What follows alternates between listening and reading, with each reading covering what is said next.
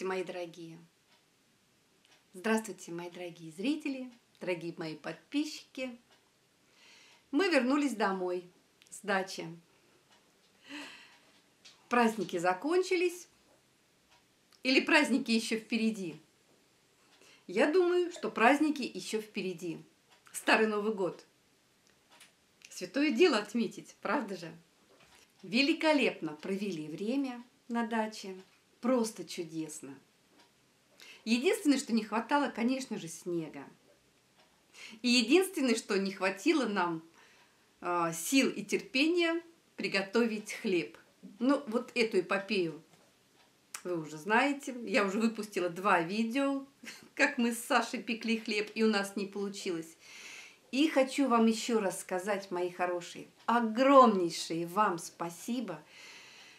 Ну, вот всегда говорю, вот от всей души, вы, вот настолько вы солнечные, мои дорогие подписчики, что каждый человечек мне старался написать, Любаша, нужно взять столько-то грамм муки, столько-то грамм соли, нужно вот в такой вот сделать последовательности. Ну, в общем, чудесные вообще комментарии от души, вот от всей души я вам говорю, благодарю. И мы, конечно же, приедем, ну, может быть, в конце января, может быть, в начале февраля э, на дачу и будем продолжать испытывать свою хлебопечку. Именно на даче. Э, Москву я ее не хочу брать.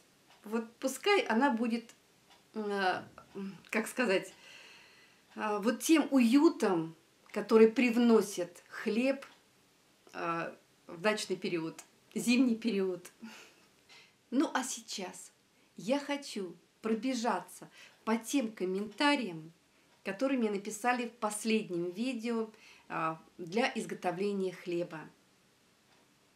Я, правда, я очень тронута вашими отзывами. А знаете, что я поняла? Я поняла одно. Когда я просто снимаю свое видео, ну, свой день, а, у меня бывает так, что так мало комментариев, там, может быть, ну, 7, 8, ну, 10, и все пишут, Любаша, как все здорово, как хорошо. И стоило что-то у меня не получиться, и, знаете, прям такая движуха у меня, вот мне это так понравилось. И вот что я подумала, надо почаще показывать, что у меня не получается. Тогда у меня будет с вами обратная связь. Я, наверное, как, знаете, как вот та самая балаболка, ля-ля-ля-ля-ля, говорю. Наверное, потому что вот эти праздники, они дали отдых душе, телу, а, голове, освободившись от всего. И сейчас действительно я на таком подъеме. А, сейчас начинаются рабочие дни, рабочие будни, которые, от которых я просто в восторге.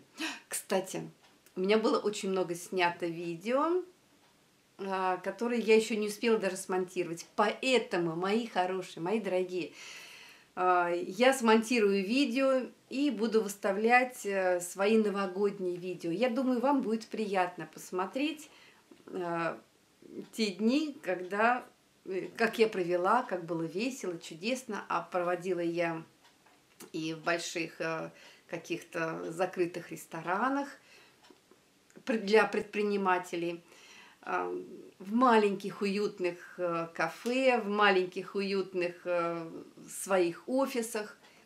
И это на самом деле здоровское. Я очень хочу с вами поделиться. И буду рада вам, вашим лайкам, конечно. И я вам хочу сказать, дизлайкам я, к дизлайкам я очень трепетно отношусь.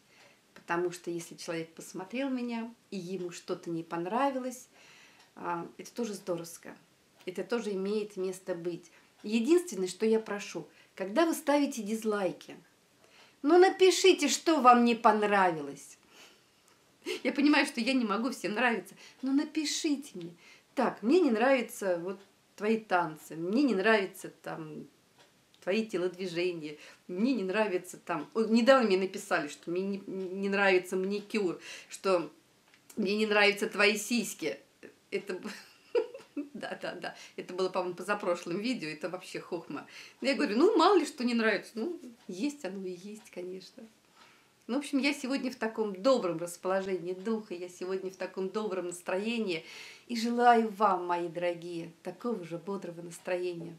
По пустякам. Ну, просто.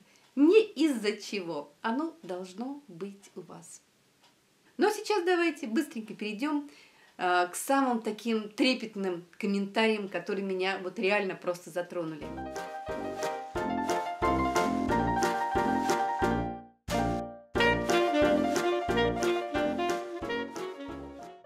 В общем, мнения раз, разделились. А, Наталья Калинкова пишет, что сначала кладет муку, дрожжи, сахар, соль и только потом воду. А Ольга К. не поленилась, нашла отзыв о моей хлебопечке и э, мне дала даже сюда ссылку на мою хлебопечку. И что же она пишет? Что абсолютно неверная рецептура – а, в прилагаемой книге рецептов. А вот посмотрите, Ксения Боровик печет хлеб, всегда берет все на глаз. И хлеб получается воздушный. Оля Ник пишет о том, что э, когда раньше у нее сестра пекла хлеб, проблема-то была все-таки в хлебопечке. Великолепные пожелания от Светланы Рыбаковой собраться нам втроем – Вера, Надежда и Любовь. Мои дочки Вера, Надюша и я Любовь, и тогда получится хлебушек. Анастасия, спасибо, что вы посоветовали, но уже поздно. Я пробовала бородинский хлеб, не получается, и больше пробовать не буду. Светлана Зверева. Светланочка, я поняла, что молоко и яйцо в хлеб не кладут. Спасибо. Дальше. Дачники с собачкой. Ритуля. Если твоя подруга мечтает о хлебопечке, пускай читает отзывы. Елена Быкова. Очень хотела ты купить хлебопечку, чтобы закинуть туда все, и чтобы она все приготовила. Но вижу, что раздумала. Мария Измайлова.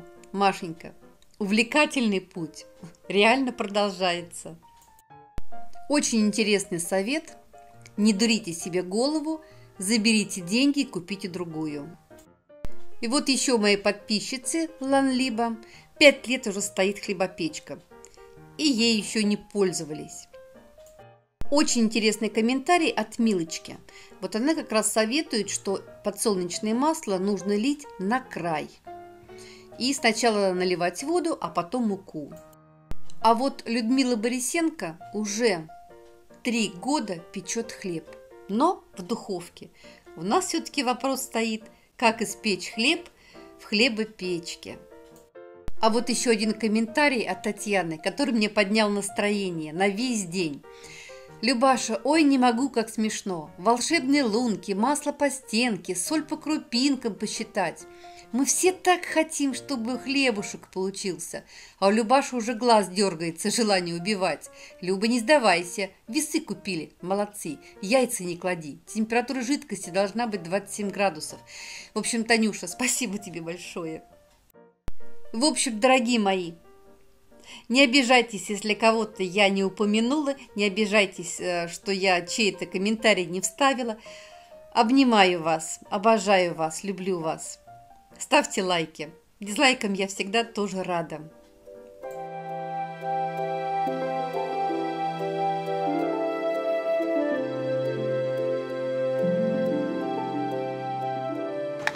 А в Москву наконец-то пришла зима.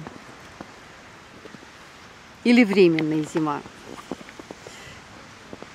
Январь, вернее декабрь и январь действительно удивили нас – своим непостоянством, своей погодой.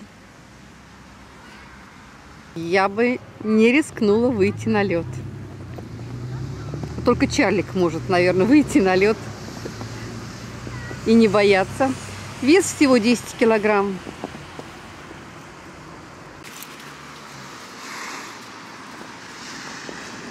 Ух, какие хорошенькие!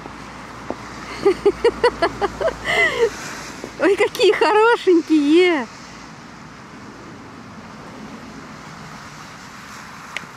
Ну, Не связываешься с такими хорошенькими, большими? Заехали к свекрови. Она такой игрок у нас. Она постоянно играет э, в русское лото. Ну, понятно, что Саша ей покупает, и она сидит по субботам, зачеркивает э, эти бочоночки, эти циферки, и очень хочет выиграть машину, квартиру, но пока выигрывает по 100 рублей. 100, 200, 300, 400, 500 рублей она постоянно выигрывает. И, в общем-то, этим счастлива. Русское лото. Сейчас, мам, ты же сказала, что ты машину выиграешь. Или квартиру. Не на те не выиграли ничего. По 101 рублю. По 100 рублей хотя бы выигрываешь, да? Выиграла. Ну, молодец. А, наверное. Что там, миллиард? Так, Мам, что ты будешь делать с миллиардом? да, Все вам отдам. Спасибо. Я знала, что ты не жадная. рублей. 100 рублей? 100 рублей. Мам, выиграла 100 рублей. Молодец. 101, наверное. Написано 100. Мам, 200 рублей вы- выиграла. 400. 400 выиграла. Саша, правильно? Да, 400 рублей выиграла? да. Да. Там еще два билета же выигрышных у нее. Супер. Играем дальше. Вот вы меня спрашиваете, мои дорогие подписчики, а правда ли, что бабушка наша живет одна? А ведь ей в этом году уже будет 90 лет. Да, она живет одна. Но мы всей семьей очень часто ее навещаем. Ну как часто?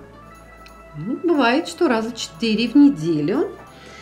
А наш дом, если прям по прямой, вот отсюда посмотреть, вот так вот, наш дом прям виден. Поэтому живем мы практически в семи минутах друг от друга. Посмотрите, какая красота. Надюшка приготовила нам на ужин вот такие шашлычки. Не буду выдавать секрет, как готовила. Я и сама не знаю. Главное, что вкусно.